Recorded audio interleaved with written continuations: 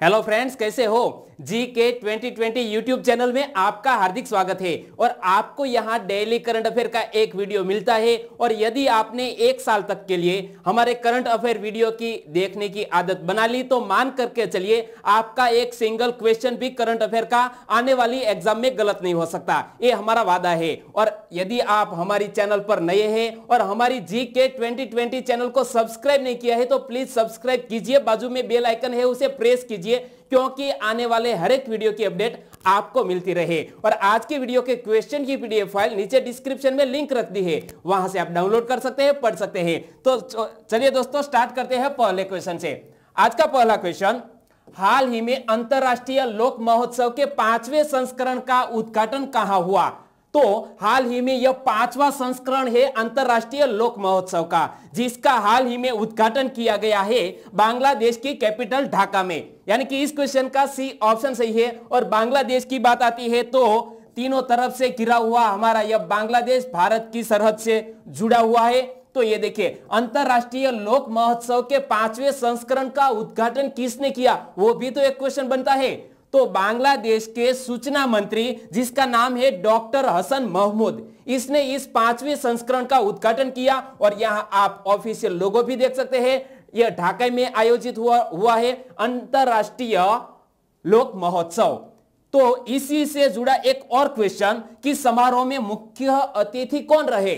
तो बांग्लादेश के विदेश मंत्री डॉक्टर ए के अब्दुल मोमेन इस समारोह के चीफ गेस्ट रहे। तो दोस्तों, एक क्वेश्चन से रिलेटेड जो इंपॉर्टेंट बात थी, वो मैंने बताई आपको। यदि बात अच्छी लगती है तो लाइक करना मत भूलिएगा। दूसरा क्वेश्चन हाल ही में भारत बांग्लादेश के पहले क्रिकेट टेस्ट मैच में किस बल्लेबाज ने दोहरा शतक लगाया?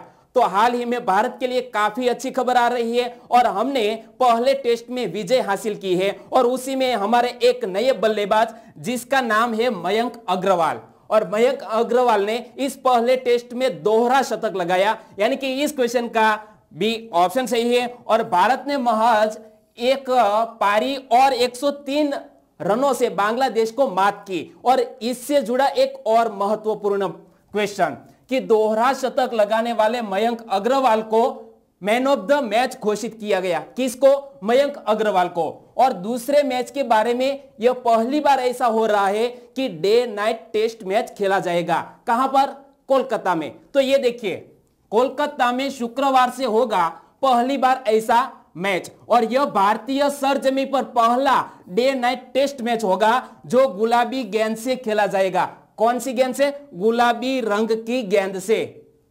अगला क्वेश्चन अठारहवा गुट निरपेक्ष आंदोलन शिखर सम्मेलन किस देश में आयोजित किया जाएगा? तो यानी कि हाल ही में आयोजित किया गया है अठारहवा गुट निरपेक्ष आंदोलन, जिसकी नींव हमारे भारत के पहले प्राइम मिनिस्टर ऐसे जवाहरलाल नेहरू जी ने रखी थी। और इसका अठारहवा संस्करण हाल ही में आयोजित किया गया है अजरबैजान में। इसलिए इस क्वेश्चन का डी ऑप्शन सही है और यहाँ बात करते हैं गुट निरपेक्ष आंदोलन शिखर सम्मेलन की। तो जब शीत युद्ध का दौर था और हमारे एक तरफ़ अमेरिका और दूसरी तरफ़ रशिया, दोनों के बीच जो यह शीत युद्ध का दौरा था, उसी समय हमारे भारत देश के पहले प्राइम मिनिस्टर जवाहरलाल नेहरू और उसी के साथ इसने मिलकर इस गुट निरपेक्ष सम्मेलन का आयोजन किया। तो ये देखिए, वर्ष 1961 में बेलग्रेड में भारत के प्रथम प्रधानमंत्री जवाहरलाल नेहरू ने युगोस्लाविया किया के जोसेफ ब्रॉज टीटू इन दोनों ने मिलकर यह जमाल अब्दुल नासिर और इंडोनेशिया के सुकारणों के साथ मिलकर गुट निरपेक्ष आंदोलन की स्थापना की। तो इसीलिए आपको याद रखना है कि गुट निरपेक्ष आंदोलन में किन किन प्राइम मिनिस्टर ने हिस्सा लिया था, योगदान दिया था। चौथा क्वेश्चन न्यायमूर्ति अकील अब्दुल हमीद कुरेशी किस उच्च न्यायालय के मुख्य न्यायाधीश बने? तो हाल ही में जब कॉन्स्टिट्यूशन के लिहाज से आपके लिए काफ़ी महत्वपूर्ण है, किसी भी स्टेट के chief high court high court के चीफ जस्टिस कौन नियुक्त होते हैं, उसी के बारे में हमें पता होना चाहिए। तो इसी तरह एक अच्छी खबर आ रही है कि अकील अब्दुल हमीद कुरेशी ने हाल ही में त्रिपुरा उच्च न्यायालय के न्यायाधीश के रूप में शपथ लिया है। यहाँ आप देख सकते हैं त्रिपुरा के राज्यपाल। और शपथ कौन दिलाते हैं? किसी भी हाईकोर्ट के चीफ जस्टिस को शपथ दिलाते हैं उस राज्य के गवर्नर। यानी कि हाल ही में रमेश बैस ने इस अकील कुरेशी को शपथ दिलाई और यहाँ आप इमेज के ज़रिए आसानी से समझ सकते हैं। तो हाल ही में त्रिपुरा हाईकोर्ट की बात आती है तो ये देखिए। कि राज्यपाल रमेश बैस ने अगरतला के पुराने राजभवन में एक समारोह में उन्होंने पद की शपथ दिलाई। और यहाँ देख सकते हैं अकिल कुरेशी। और बात आती है त्रिपुरा की। तो त्रिपुरा के हाल ही के सीएम कौन है? विप्लव कुमार देव। और न्यायमूर्ति कुरेशी को 8 नवंबर को त्रिपुरा का मुख्य न्यायाधीश नियुक्त किया गया था। और यहाँ देख सकते हैं त्रिपुरा के सीएम कौन है? विप्लव कुमार देव। पांचवा क्वेश्चन। प्रधानमंत्री नरेंद्र मोदी 2020 में किस देश के विजय दिवस समारोह में भाग लेंगे? तो इस तरह का विजय दिवस मनाया जा रहा है। हर साल विजय दिवस मनाया जाता है रूस द्वारा और उसी में चीफ गेस्ट के रूप में आमंत्रित किया है व्लादिमीर पुतिन ने हमारे भारत के प्राइम मिनिस्टर नरेंद्र मोदी को। यानी कि अगले साल जब विजय दिवस आयोजित किया जाएगा, उसमें रूस के चीफ गेस्ट होंगे हमारे प्राइम मिनिस्टर। इसीलिए इस क्वेश्चन का बी ऑप्शन सही है और हम बात करते हैं रूस की। तो ये देखिए, हाल ही में जब ब्राज़ील की कैपिटल ब्राजीलिया में जब यह ब्रिक्स शिखर सम्मेलन आयोजित किया गया, उसमें यह न्योता दिया गया है। तो प्रधानमंत्री मोदी ने 2020 में रूस के विजय दिवस समारोह में भाग लेने के लिए रूसी राष्ट्रपति के निमंत्रण को भी स्वीकार कर लिया है। और एक मोस्ट इंपोर्टेंट बात हमारे अगले गणतंत्र दिवस पर हमारे चीफ गेस्ट कौन होंगे? तो उसका क्वेश्चन मैंने कल आपसे पूछा था और आपने कमेंट बॉक्स में काफ़ी अच्छी तरह जवाब भी दिया है। चलिए आगे बढ़ते हैं, उसकी बात हम आगे करेंगे। छठा क्वेश्चन हाल ही में राष्ट्रीय प्रेस दिवस कब मनाया गया? तो हर साल नेशनल प्रेस डे कब मनाया जाता है? कल ही मनाया गया। यानी कि 16 नवंबर को हर साल नेशनल प्रेस डे मनाया जाता है। इसीलिए इस क्वेश्चन का सी ऑप्शन सही है और हम बात करते हैं नेशनल प्रेस डे के बारे में। तो ये देखिए कि राष्ट्रीय प्रेस दिवस स्वतंत्र और उत्तरदायी प्रेस का प्रतीक है और हर साल 16 नवंबर को मनाया जाता है। तो इससे रिलेटेड हिस्ट्री क्या है? 16 नवंबर 1966 को भारतीय प्रेस परिषद की स्थापना हुई थी और इस अवसर पर हाल ही में हमारे उपराष्ट्रपति एम वेंकैया नायडू जी ने उत्कृष्ट कार्य करने के लिए पत्रकारों को पुरस्कृत भी किया और यहाँ आप देख सकते हैं हमारे vice president M Venkaiah Naidu अन्य पत्रकारों को पुरस्कृत करते हुए। सातवां क्वेश्चन। हाल ही में किस देश में राष्ट्रपति चुनाव के लिए मतदान संपन्न हुआ? यूँ मान लीजिए कि आज ही राष्ट्रपति का जो नतीजा आया है और कल ही वहाँ राष्ट्रपति के लिए मतदान हुआ था और इस चुनाव हाल ही में आयोजित किया गया है श्रीलंका में। इसीलिए हमारे दक्षिण में स्थित श्रीलंका में नए राष्ट्रपति भी बन गए हैं और इसलिए इस क्वेश्चन का ए ऑप्शन सही है। तो श्रीलंका के नए राष्ट्रपति कौन बने?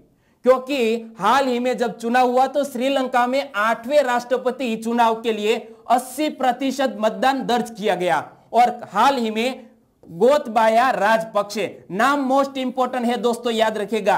गोतबाया राजपक्षे एक सेवानिवृत्त सैनिक है, जो हाल ही में यह चुनाव जीत गए हैं और श्रीलंका के नए प्रेसिडेंट बने हैं। कौन? गोतबाया राजपक्षे। तो उनके बड़े भाई जो महिंदा राजपक्षे थे, वो भी राष्ट्रपति के रूप में पदभार संभाला था श्रीलंका में। कब तक? 2005 से लेकर 2015 तक। और यहाँ आप देख सकते हैं, गोतबाया राजपक्षे की इमेज ये है श्रीलंका के हाल ही के राष्ट्रपति। आठवां क्वेश्चन इटली के किस शहर में बाढ़ की वजह से आपातकालीन स्थिति की घोषणा कर दी गई? तो बाढ़ आई है और यह जलवायु परिवर्तन नहीं है तो क्या है? क्लाइमेट चेंज की का जो बुरा असर है, वो हमारी पृथ्वी पर दिख रहा है। और उसी में इटली में हाल ही में इस शहर में भारी बाढ़ आई है और इस शहर का नाम क्या है? तो इटली में स्थित वेनिस शहर में हाल ही में भारी बाढ़ आई है और पिछले पचास साल का रिकॉर्ड तोड़ दिया है। तो यह काफ़ी मोस्ट इंपॉर्टेंट बात है, लेकिन दुखदायक है। इसलिए इस क्वेश्चन का बी ऑप्शन सही है। और मैं बात करता हूँ इटली की। तो यहाँ आप इमेज में भी देख सकते हैं, क्या बात सामने आई? इटली का सुविख्यात और यूनिसेफ मान्यता प्राप्त शहर है वेनिस, जहाँ हाल ही में बाढ़ आई है। तो प्रधानमंत्री है जी सेफ़ कॉन्टे ने इस बाढ़ को देश के लिए बड़ी क्षति बताते हुए कल ही आपातकालीन की घोषणा कर दी थी और शहर के गिरजाघर, दुकान और मकान सब जलमग्न हो गए और पिछले 50 वर्षों में पहली बार ऐसी भयानक बाढ़ आई है और इसीलिए आपको वेनिस और इटली का नाम याद रखना है। नवा क्वेश्चन।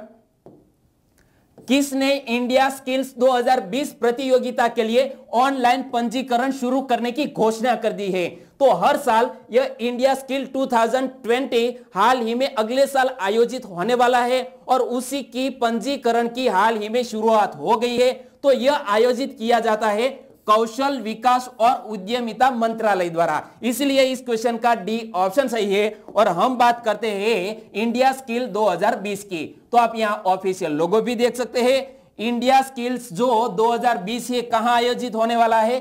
केरला में। और इसमें जो विजेता घोषित होंगे, वो चाइना में जाने के लिए हकदार होंगे। तो इंडिया स्किल्स के विजेताओं को वर्ष 2021 में चीन में आयोजित होने वाली वर्ल्ड स्किल इंटरनेशनल प्रतियोगिता में देश का प्रतिनिधित्व करने का मौका मिलेगा। और पिछले साल ही आयोजित किया गया था। यानी कि हाल ही में वर्ल्ड स्किल्स इंटरनेशनल 2019 में भाग लेने वाले कुल 63 देशों में से भारत कौन से रैंक पर रहा था? तेरहवें स्थान पर रहा था। और उसी में भारत ने तकरीबन 15 मेडल भी हासिल किए किए थे और उसी में एक गोल्ड और सिल्वर भी शामिल था।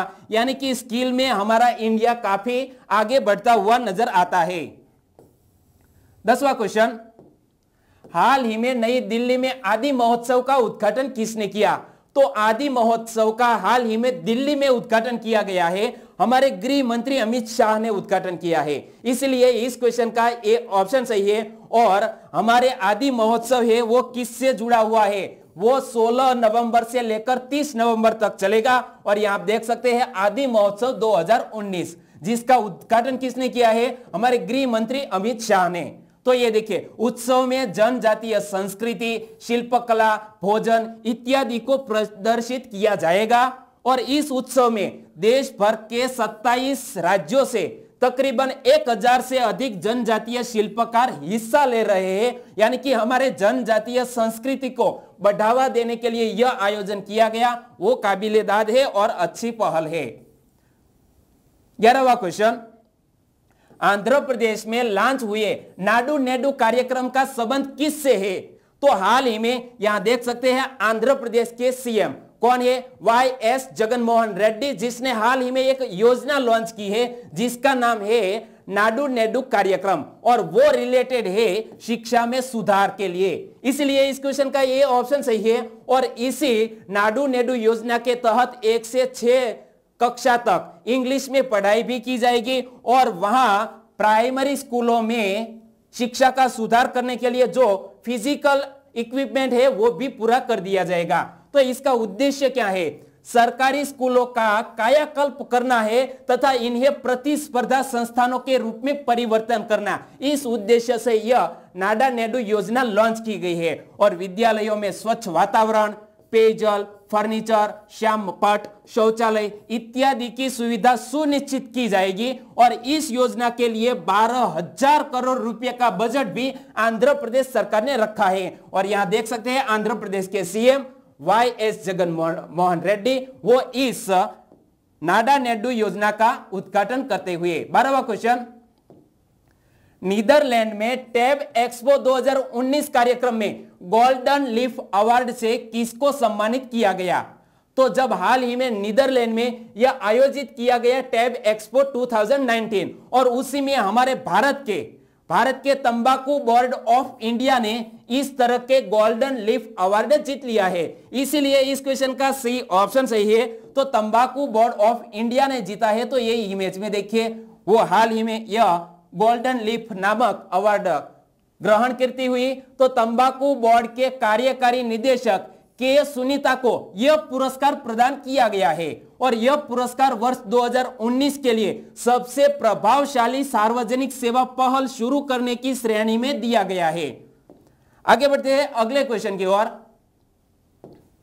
हाल ही में ब्रह्मपुत्र पुष्करम उत्सव का आयोजन किस राज्य में किया गया? तो यहाँ देख सकते हैं आप हाल ही में ब्रह्मपुत्र पुष्करम उत्सव का आयोजन किया गया है असम में। इसलिए इस क्वेश्चन का बी ऑप्शन सही है। और हम बात करते हैं असम की। तो ये देखिए, हाल ही में क्या बात सामने आई। पुष्करम उत्सव नदियों का एक उत्सव है जो भारत की बारह महत्वपूर्ण नदियों से संबंधित है। नमामि ब्रह्मपुत्र उत्सव के बाद यह असम का दूसरा सबसे बड़ा उत्सव है। यहाँ पाँच दिवसीय उत्सव है, जिसमें असम की कला विरासत और संस्कृति को प्रदर्शित किया जाता है। और कब तक चलेगा? यानी कि पाँच नवंबर से लेकर सोलह नवंबर तक यह आयोजित किया गया और कल ही संपन्न हुआ है यह उत्सव। तो नाम याद रखिएगा, पुष्करम उत्सव नदियों से जुड़ा हुआ है असम स्टेट। चौदवा क्वेश्चन हाल ही में किस झील में लगभग दस हज़ार पक्षियों की मौत हो गई है? और यहाँ जो आप काले काले स्पॉट देख रहे हैं वो कोई स्पॉट नहीं है, बल्कि यह मरे हुए पक्षी है। और तकरीबन दस हज़ार पक्षियों की मौत हो गई है। बहुत ही पर्यावरण के लिए चिंता का विषय और क्लाइमेट चेंजेस में और हमारे मानव हस्तक्षेप के कारण जो यह नुकसान हुआ है, प्रकृति का इतना बड़ा तो वो काफ़ी चिंता का विषय और यह हुआ है हाल ही में राजस्थान में स्थित सांभर झील में। इसीलिए इस क्वेश्चन का सी ऑप्शन सही है। और क्यों मौत हो गई है पक्षियों की, वो भी एक क्वेश्चन है।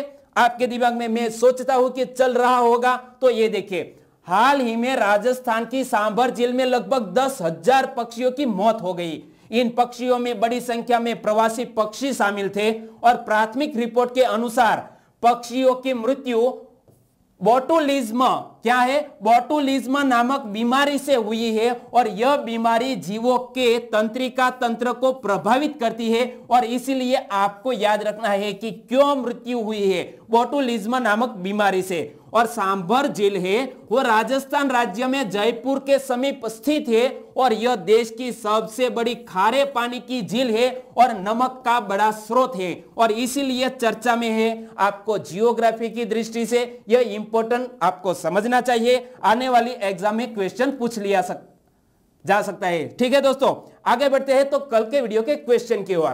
कल मैंने आपसे क्वेश्चन पूछा था कि निम्न में से कौन 2020 के गणतंत्र दिवस समारोह में हमारे चीफ गेस्ट होंगे? तो यहाँ देख सकते हैं आप इमेज में जायर बोल्सनारो, जो ब्राज़ील के हाल ही के राष्ट्रपति है, वो हमारे आने वाले गणतंत्र दिवस के अवसर पर हमारे चीफ गेस्ट हो गए नाम याद रखिएगा, जायर बोल्सनारो। और आज के वीडियो का क्वेश्चन ए रहा स्क्रीन पर। आज का क्वेश्चन है, इसरो ने कब तक चंद्रमा की सतह पर सॉफ्ट लैंडिंग के प्रयास की घोषणा की है? यानी कि अब हमारा इसरो है, वो चंद्रयान थ्री लॉन्च करने जा रहा है। और हमारे इसरो के हाल ही के अध्यक्ष के सिवान ने बयान दिया है तो कब तक हम चंद्रयान थ्री लॉन्च करेंगे? क्योंकि हम कभी भी उम्मीद नहीं हारते और हमारा हमारा प्रयास है वो हमेशा चलता रहेगा।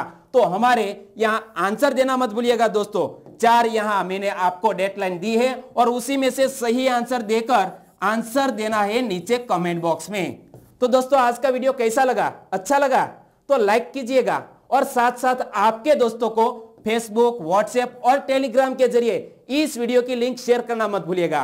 क्योंकि लिंक शेयर करने से सब्सक्राइबर बढ़ते हैं और सब्सक्राइबर बढ़ने से हमारा हौसला बढ़ता है। कल फिर मिलेंगे नए करंट अफेयर के साथ। तब तक के लिए जय हिंद।